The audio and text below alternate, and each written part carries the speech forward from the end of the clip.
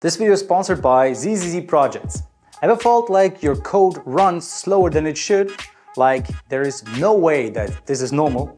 What am I doing wrong? That's a feeling that we as Entity Framework developers know too well. What if there was a way to easily multiply your app's performance? making everything run smoother and faster? Well, today we're unveiling how you can achieve just that. Curious? Then let's get into it. In the last video, we discussed improving our data insertion algorithm with an amazing tool provided to us by ZZZ Projects. That one was great already, but working with databases is not just throwing data in. There is a multitude of operations we need to do on a daily basis, and more often than not, all of them are way too slow to be usable. This is what we plan to explore today, while hopefully learning proper coding techniques and improving our project's performance. And for that, we need to start with a big one, like saving the things we changed. First up, bulk save changes. This method transforms the traditional save changes approach. Instead of processing each change one by one, it handles all changes in bulk, reducing the number of database round trips significantly. Let's see it in action. Well, We'll be working today in the same project that we did in the last video. So make sure to open that project again in Visual Studio to get going. If you don't have that project, then make sure to get back to the previous video and follow along there. Or, well, if you really don't want to, although you should, you can just download the project in the description below as well. So don't worry. Before we start, we need to make a slight change to our project. In the last video, we set up our app with a SQLite database. More precisely, we configured our project to create them itself. This was to simplify the process and eliminate the need for extra development time. However, this time we don't want to limit our app in that way. Instead, we're going to set up a proper SQL database. So let's get started with that. First, go to the SQL Server download page and choose the Express edition. This will be more than enough for our needs and has the added benefit of being free. You can use the other versions if you prefer, we just chose this one. Run the installer and follow the prompts. Choose the features you want to install. In our case, we'll leave them at the default settings. Configure the instance settings. These can also remain default. Set the server authentication to SQL Server and Windows authentication mode. Add your user account to the SQL Server administrators. This usually sets up a by itself, just confirm that it's correct. And there you go. That should be it for this part. Now we need some way to manage it. For that, we will be using the SQL Server Management Studio or SSMS. Navigate to the download page of SSMS and install it correctly on your system. Once installed, open SSMS and connect to your server. As you can see, it found it already. Now right-click on the Databases folder and choose New Database to create a new database. Follow the prompts to configure your database. And there we go. So what now? Well, not much actually. We just need to redirect our program to use this server instead. To do that, go back to Visual Studio and start by installing the SQL Server package. Now replace this line in your appdb context file with this new one connecting to your local server.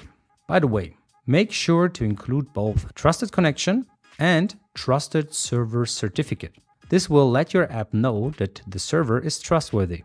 Great, now with this we should be ready to go. In our case, migrations won't be needed as we are using ensure deleted and ensure created, so we should be able to get it working right away. Let's test this with the code from our previous video. And oh, it seems like there's something wrong, we're getting an error that says cannot insert explicit value for identity column in table customers when identity insert is set to off. This might seem puzzling at first, but let me explain what's happening here. In our previous video, we used the bulk insert method to add customers to our database. This method automatically populated the customer ID property with the identity column value returned from the database. This is a key detail because in Entity Framework Core, when an entity has a non-zero customer ID, EF Core attempts to insert that value into the database. However, our database is set up such that the customer ID column is an identity column. This means that SQL Server is responsible for generating a unique value for this column every time a new row is inserted. The error we're encountering occurs because we're trying to insert a specific value into an identity column, which isn't allowed unless identity insert is turned on, and in our case it's off. The simplest solution is to create a new list of customers. When we create new customer entities, their customer ID properties will be set to the default value, which is typically zero for an integer.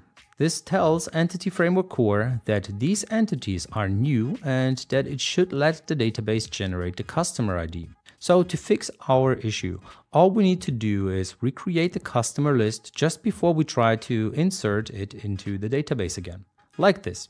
This approach ensures that all the customer ID values are set to their default, allowing Entity Framework Core to handle the identity column correctly without any conflicts. Great, if we run this again, there we go, it runs fine. Now we get to the real fun. After having some issues with the save changes method, let's see how much smoother it'll be to run the bulk save changes method. Once we are ready, we can start by creating a new method down here. Call it something like bulk save changes demo. Should be fine. In here, we will make a small comparison between the bulk method and the built-in standard method, just as we did with insert in the previous video. So first create a list of customers and populate it with around a thousand customers, like so. Then we need to reset our database again. Since we are going to be doing this a lot, let's create quickly a little helper method here called reset database that does just this. So here it deletes, then creates it again. Now just call it down in this method. Great. Now we get to set the test up. So start by starting our stopwatch. Then use add range to add the customers and use the bulk save changes method to save them to the database. Make sure to stop again and write the time to the console with a little message like so. Great. Now let's do the same but for the built-in save changes method. For that, just reset the database again, restart the stopwatch, add range and save changes here. Then finish again by stopping the watch and writing the results to the console. Recreate the customer list again like we did before. Now before we test it, to make this comparison fair, we need to first JIT compile it. Now compiling it isn't more than just running it once before we make the test, as we are going to stop the previous methods from running and this test will be the first time it will run in this execution. We just need to run it once here and that should suffice. Just make sure to reset the database before and after to have a nice clean slate. And that'll be it for our first test. Let's see how it looks. Make sure to call the method in the main method up here, run it, and there it is. See? Quite a bit faster. Now execution times can naturally vary a lot each time we run because the context can vary quite a bit.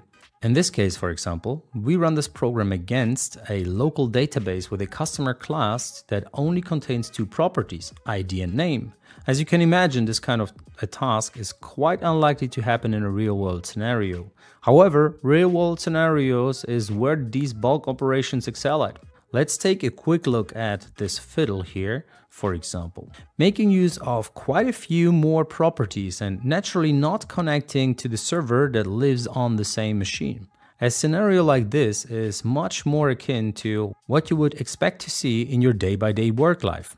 And if we give this one a run, we can clearly see how the difference between the two is exceptionally greater. This is almost a 10x difference right there.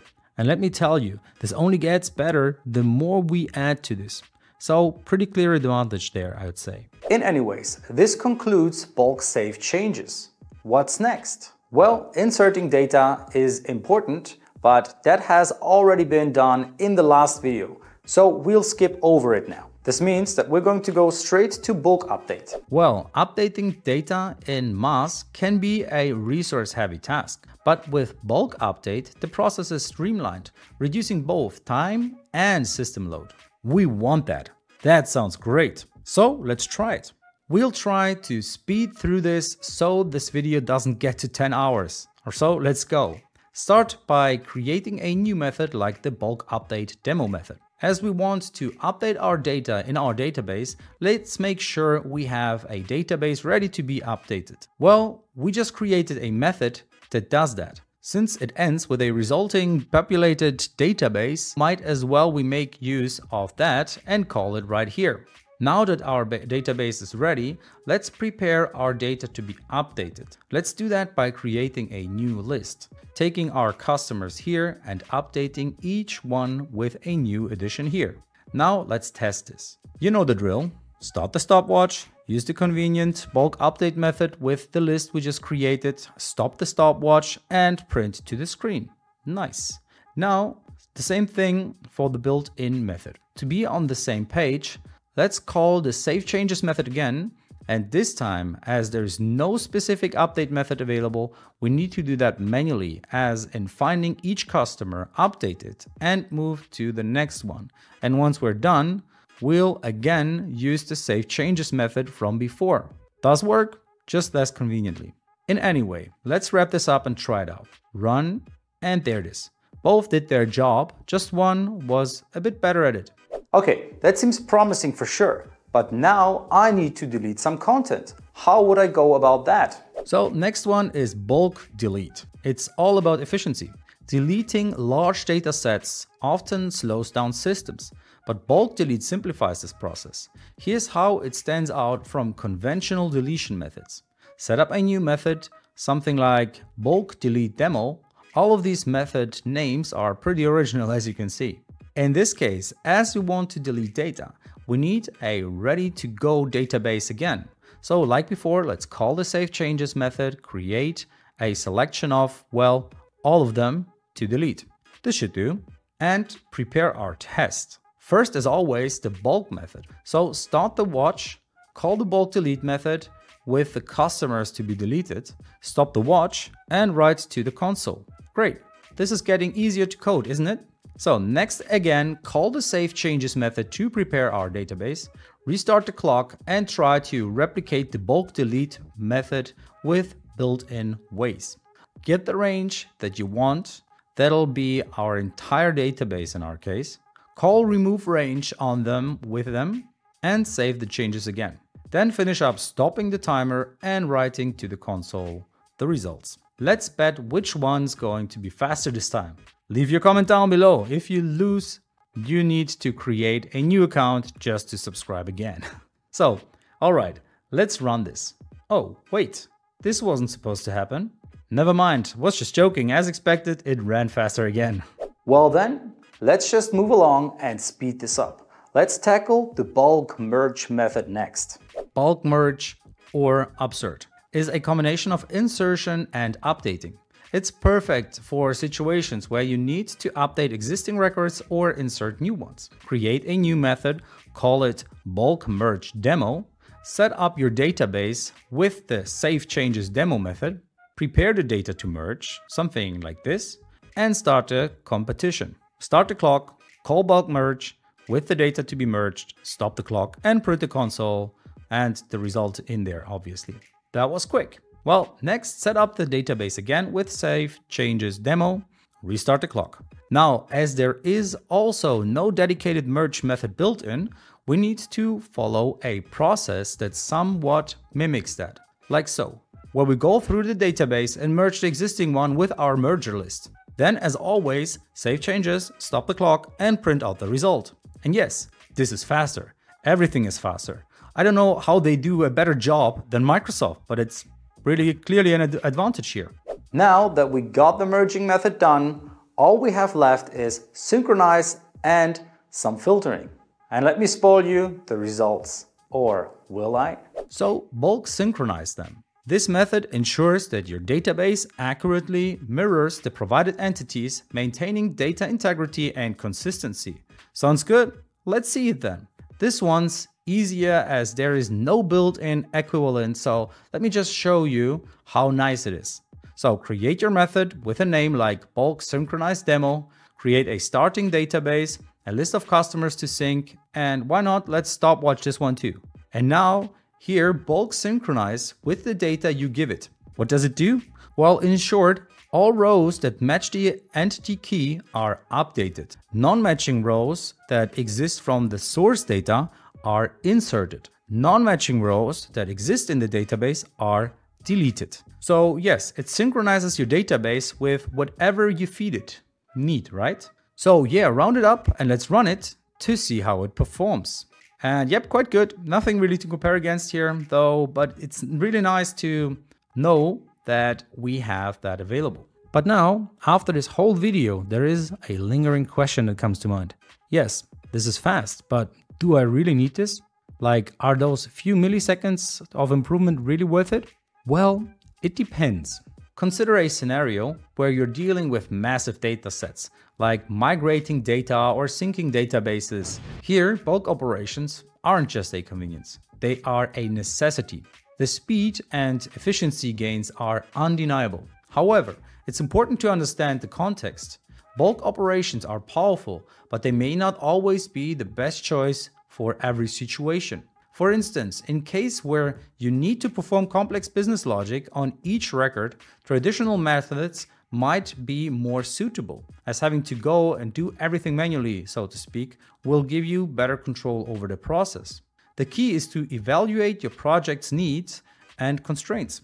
Understand your data, the frequency of operations, and performance requirements. This will guide you in making an informed decision about whether to integrate bulk operations or just keep your original logic. Nonetheless, if you are in a position where you are allowed to experiment a bit, I would no doubt at least give it a try. Worst case scenario? You make your app a bit faster and learn a new skill along the way. We've covered a lot today. From the basics of entity framework extensions to the details of each bulk operation method. It's clear that these tools have the potential to transform how you handle data operations in Entity Framework Core. Faster, more efficient, and more scalable. That's the power of bulk operations. As we wrap up, I encourage you to share your thoughts and experiences. Have you used their methods in your projects? What was the impact? Do you have other ways of improving your app's performance? Let us know in the comments down below. And don't forget, if you want to learn more about insertion methods in a bit more detail, make sure to check out our previous video where we went deep into comparing standard built-in methods to bulk insertion. You'll be amazed at how much it affects the speed of your app. If you found this video helpful, please hit the like button and share this video with somebody who will profit from it as well. And if you haven't already, subscribe to our channel for more content like this. We're always looking to explore new topics, so let us know in the comments what you'd like to see next. Happy coding and see you in the next video.